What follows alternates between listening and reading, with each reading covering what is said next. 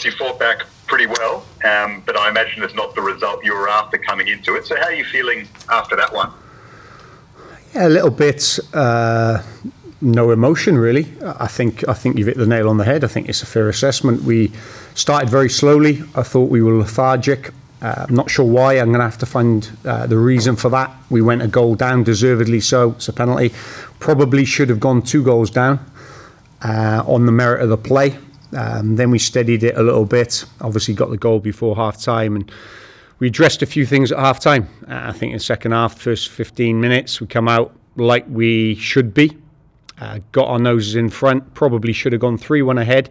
So that was a, another momentum shift. And then we concede a bad goal in a, in a transition. So, and it goes 2 2. But then there was lots of chances both ends. It became a little bit open, a little bit basketball type. Um, lots of shots, not enough uh, shots on target, probably. So it's probably a fair assessment, I think you're undefeated to start the season, but you haven't exactly set the world on fire in your first no. two games. So where do you think you're at? Are you ahead of where you want to be? The level you want to be below? Where do you think you're at right now to start the campaign? Well, I think everyone tries to be better each week. You know, we're a new team. We know that we've got new personnel. Um, you know, there's positives to take because we're unbeaten, and you know we played against uh, Sydney last week and obviously Newcastle this week. Um, so there is positives. Do I think our performance level was good enough this week for us? No, I don't. Uh, I think we need to be better. I think it showed in the second half how good a team we can be. Um, but, you know, obviously in the first half is something that we need to address as well. Jack Rodwell showed very promising signs off the bench again. How impressed have you been with him and, and how far off a start do you think he might be?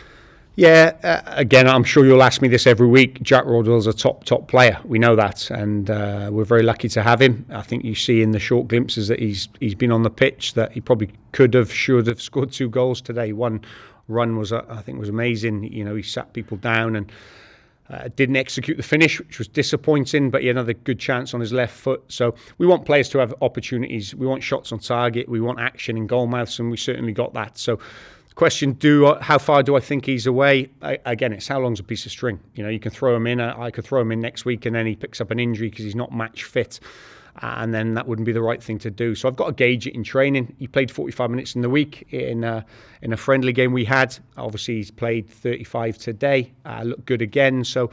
We've got a lot of games coming up in a short space of time, so he'll get his starts, he'll get his minutes, uh, as will all the other players. But no, it was very promising from him. Thanks, Matt. Okay, thanks. Wouldn't you like to know? Uh, no, I just said we need to be better. I, I thought we were passive. I thought we were. Uh, we know we're a, a, good team. We've got good players, but if you don't compete and you don't fight and you don't, you know, scrap for little balls, first ball, second balls, you don't make contact, you don't run, uh, you, are going to be beaten by any team in this league. And I think you know there was a, a few people that owned it because you got to have an accountable team, and they said they can do more, and I, I challenged them to do a little bit more each individually and then collectively. So we got our timings wrong on certain aspects of the game. Um, that's credit to Newcastle, um, but we addressed that at half time, and I thought we were on top for that 20 minutes, and we probably should have put the game out of sight because we're two and up. Uh, uh Rami has an excellent chance. Uh, decides to go with a finish, which is probably different to what I see day in day out. If that goes 3 1, I think we're ahead in the game, and I think the game is out of sight. But we don't. They score literally from that transition, and then it's end to end. Anyone can win.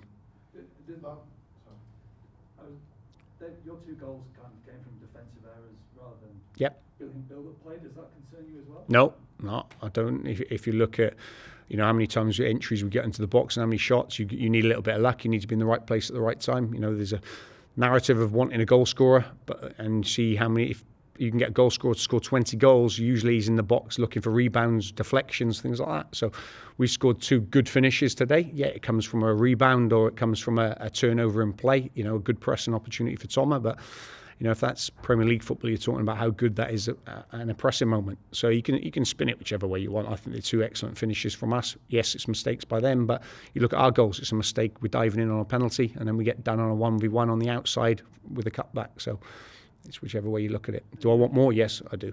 You, mentioned the guys maybe.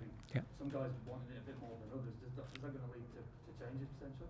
No, when I say wanting it more than us, you've got to start any game of football you play and you've got to be at it. If you're not at it and you're playing at 80% or 90%, not intentionally, but you know, you're a little bit slow in your mind, slow in your body, then, you know, the other team, the opposition team are going and if they're at it, you're going to lose those little battles and one, two battles become four or five. You know, if everyone loses two battles and that's 20 battles you've lost even before you've started. So whenever you go onto the field, you have to make sure you win your individual battle. I don't think we won enough in the first half, even though we were still in the game. So, second half we were a lot better. Last week you, you looked very solid defensively in the, in the yep. derby. Uh, the mistakes were today were chalk and cheese to last week. As you're watching on the sideline, what was going through your head as what was going wrong? Uh, I, I, you wouldn't want to be in my mind on the sideline today, believe me, because there was so many mixed emotions of positive stuff, some you know, um, inconsistent stuff, some stuff that was driving me mad. But there was there was also a lot of good stuff as well. So in moments like that, I try and remain calm. You can't you can't change things from there by shouting and screaming and acting like a buffoon. So I don't try and do that. I try and get them in at half time and address certain scenarios. I try and pass on little messages with the substitutes that come on. So lots was going through my mind. I'll watch it again, and I'm sure it won't be as bad or good as I thought. Um, but I will say it was a really good game of football for a neutral to watch and a supporter to watch. Lots of goals, lots of action, end to end stuff. Nightmare for coaches, but. I meant more as a, a cause for what was yeah. happening. Why? Why did we concede so many? What? What? Two goals? I don't know. I just think our timings are off. If your timing's off and you don't track a runner and the runner gets in behind you and you switch off, you know, I've watched lots of games this weekend, not just in the A League, but uh, all over, and usually goals come from mistakes. So switching off, uh, timings were wrong. Um, inconsistent decisions. I think if you do that, you know, if you step to the ball, Rhys Williams' example was phenomenal last week. He was strong again today, this week. Step to the ball, the boy got a touch on the ball, and last week he probably makes the tackle, a block tackle, and everyone says what a wonderful defender he is. Today, the boy touches it before Rhys makes it, and everyone will say it's a mistake. No, he's still a wonderful defender, but his timing was off. That's the example I'll give you. No, I don't. I, I, don't. I think he slipped. If you see that, he Gus. I think he caught Angus Thurgate. Uh, Gus is a good, honest boy as well, and he went over. Obviously, when ten people jump up on the side, you know it doesn't help the emotion of the of the challenge. He slipped. He put his hand up straight away. You know, two minutes earlier, he put a great crunching tackle in on the other side. So, which I think they weren't happy with. But it was a, a tackle, a contact tackle, which happens. But no, I don't think he was lucky. I think it was a good tackle. Uh, he mistimed it. Sorry, he mistimed it, uh, but he slipped And if you're going to, you know, try and get people sent off for that, then you're going to end up with 98 and things like that. Uh, you know, and that's not what we want. You know, yes, you can make mistakes or whatever. I think there was mistakes made on the weekend, decisions that weren't given and things like that. I think that was a decision deserved yellow card. He caught him, uh, but he did slip. But that's not for me. That's for VAR.